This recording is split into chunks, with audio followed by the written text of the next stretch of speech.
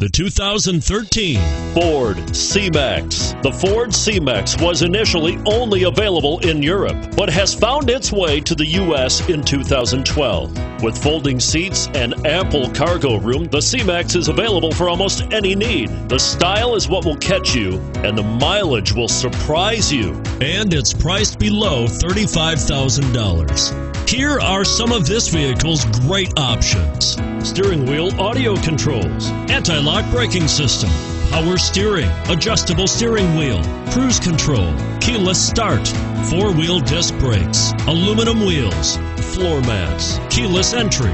Come see the car for yourself.